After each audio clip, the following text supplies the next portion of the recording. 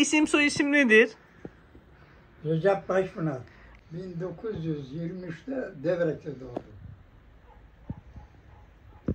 İstediğim Cumhuriyet dünya durdukça yaşasın.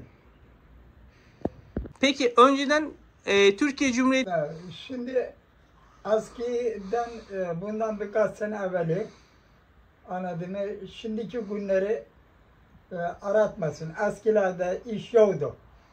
Şimdiki günler daha sağlam, daha bilinçli. Peki savaş zamanlarını hatırlıyor musunuz? Savaş zamanında 1936'da şey e, şeye hatırlıyorum. E, Alman Harbi'ni. Peki nasıldı o zamanlar? Yani o zamanları şöyleydi. Ee, şimdi şehirden e, devletin mamulları çıktı köylere.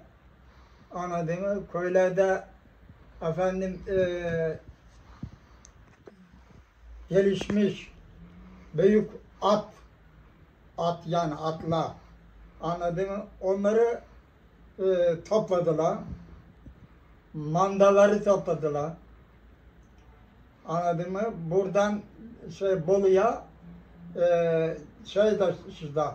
Mermi taşımak için. Cumhuriyetimizin kurucusunu görmüş olsaydınız ne söylemek isterdiniz Atatürk'e? Atatürk'e söylediğimiz e, Türkiye'yi düzenli e, düzenli olarak e, yaşattırdık. Cumhuriyet denince aklına ne geliyor Recep amca? E, Cumhuriyet deyince e, aklımıza gelen milletin birbirine birleşmesi geliyor. Peki Cumhuriyet ilan edilmeseydi ne olurdu? Cumhuriyet ilan edilmeseydi herkes istediği yere çekerdi. Hiç birbirine bağlı olmazdı. Cumhuriyeti 100 yıl yaşamış biri olarak ne hissediyorsun? Valla şimdi e, hissettiğimiz şu Atatürk e, tabi e, bu cumhuriyeti kurmasaydı böyle bir düzen olmazdı. Anladın mı? E, şimdi Cumhurbaşkanı geldi. Bu da daha bir iyi düzene e, başladı. Daha da bir iyi düzen yaptı. Şükür Mevla'ya, çok şükür hamdolsun. Anladın mı? Allah keder vermesin. E, Bundan iyi de gün olmaz yani.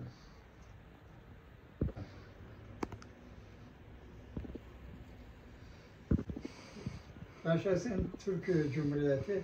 Türk'ün elhamdülillah.